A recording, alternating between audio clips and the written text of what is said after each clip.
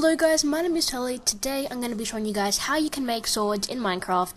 And that kind of sounded a bit weird, but I'm going to be showing you guys how you can actually customize what your swords look like in Minecraft using paint.net, which is actually really easy. So the first thing you're going to want to do is just head over to your resource pack folder, like I am right now, and just select the sword that you want to use as your background image, because you're going to be, ah, I can't talk, because you're going to need to be using a bit of a background image just to show where your sword's going to be.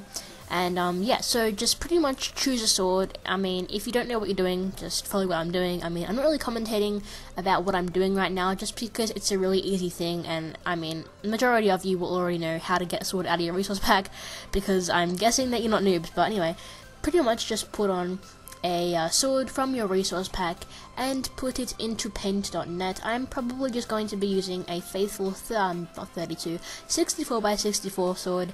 Um, I'm to just use the gold sword and then just press open. Now, I like to choose a 512 by 512 resolution, but if you don't have a good computer, you might want to go lower. It honestly just depends. So just go to your resize and then size it to the, you know, size that you want it to be. I'm to go with 512 today just because it gives it a nicer look and it makes it look more HD. So yeah, once you've done that, just go to your adjustments, brightness and contrast, turn the brightness all the way up and the contrast to about 70, and then just press OK. That's just to give it a bit of a background look. And um, yeah, sorry, my voice just like turned really weird then, I don't know why, but anyway, create a new layer, select the layer, and then now we're done. So all we've got to do now is pretty much just customize our sword to make it how we want to. I like to just outline the sword and make it look really nice from there. So just outline the sword as much as you want to, like put put little additions on. I'm probably just gonna stick with the actual outline of the sword that I already have, just because I'm just you know going a little bit simple today. I'm not trying to create anything outstanding, but you know there isn't any limits really, guys. So if you have anything to say or you know do or um, if you have any ideas, just feel free to go for it. And you know, there's no real limits in this. So I like to have a pretty long blade, but you know, it depends on your preference, really. I mean, some people like to have really short blades, like looking a bit like knives or machetes. I mean, you can really go with any look that you want to. I personally just like a simple long blade. I might make a knife pack or a um, machete pack. I'm not sure if I'm going to do one, um, but like, if you want one, make sure that you tell me because honestly a lot of the reason why I actually create things is because people have actually asked me to. So yeah, if you want like a knife pack or a machete pack or anything like that, feel free to tell me and I totally will because I'm pretty bored. I mean, I don't got much to do, but this is probably one of the most requested videos on my channel, like how to customize texture packs, how to customize swords. But basically, I um, I can pretty much just say you guys can use this for anything you want. I mean, um, you can use it for you know tools like hoes and pickaxes and shovels and everything like that. So yeah, it's generally a really easy thing to do. So you don't really need much experience to do any of this. Um, once you know how to do this, it's extremely easy from down like from there on out. You don't really need much experience at all to to do any of these things. So yeah, basically once you have um, your sword there, all you want to do is just, you know, draw some cool things in there to make it look even better. And yeah, so I'm going to be drawing some flames in there today just to make it look really nice.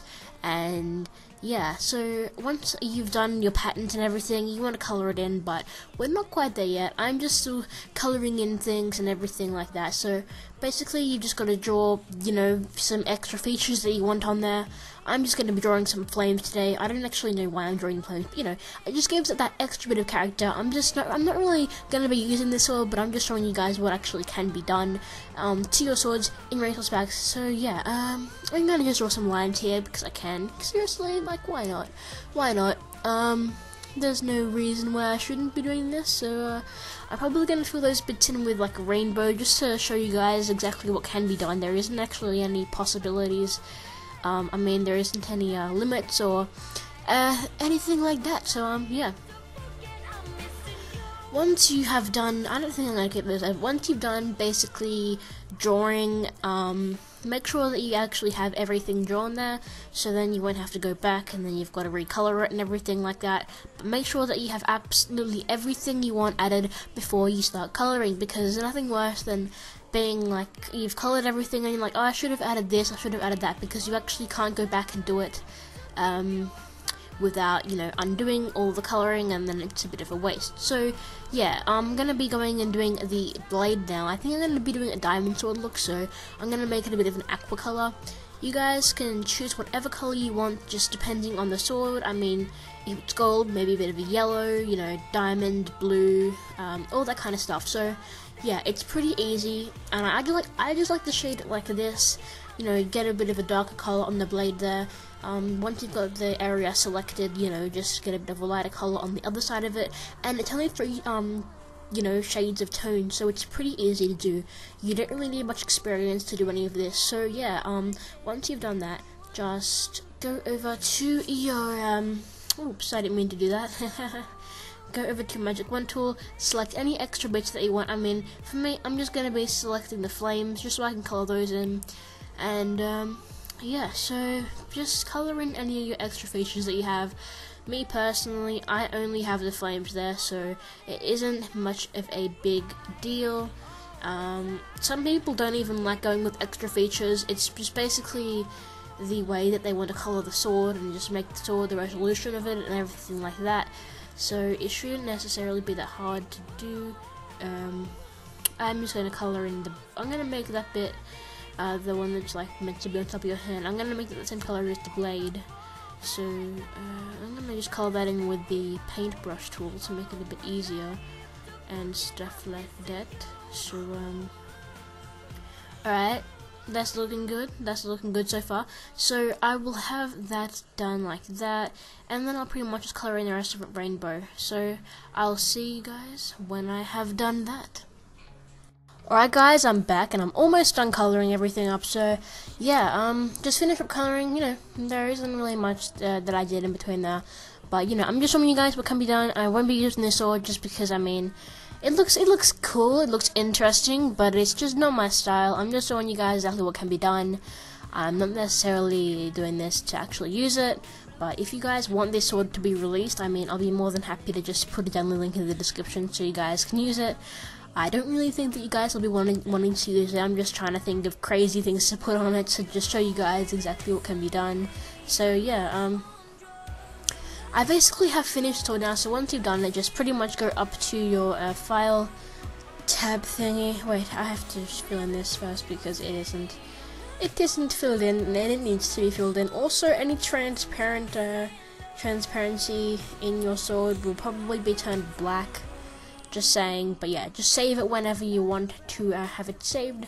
Save it to somewhere that you'll remember where it is, so then you can put it in your resource packs folder, um, like your sword in the actual resource pack that you want it to be in when you are done. So make sure to save it as a PNG and save it as like the actual item, like diamond will be diamond underscore sword, and then gold will be gold underscore sword, you know, etc., etc. So basically, when you're done that, just um, you need to put it back in your resource packs folder. And if you if you don't know how to do that, feel free to just follow exactly what I'm doing right now. So um, I'm gonna just put it in the resource pack folder now. So yeah, go to your start bar, type in percent app data percent, and then press enter and then go into your Minecraft resource packs, and then that's pretty much where all your resource packs are.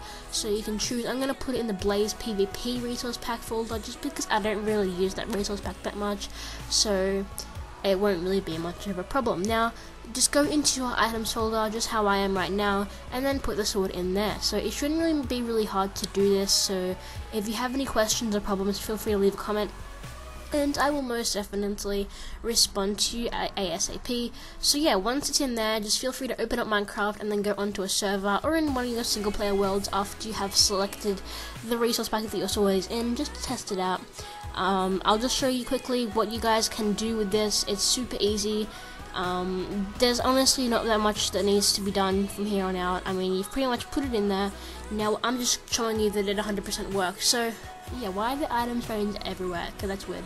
Okay, now here is a diamond sword, and it has worked. This looks awesome. So yeah, hopefully that once you guys try it out, it'll work for you. So yeah, um, it's pretty much all I had to say, guys. If you need any help, just feel free to leave a comment or anything like that. So yeah, as you can see right here, perfect. So if you guys enjoyed the video, make sure that you hit the like button and also make sure to subscribe for more daily awesome Minecraft videos. Also don't forget to leave a comment because I do make sure all of them and respond to as many as I can. So hope you guys have an awesome day and peace out.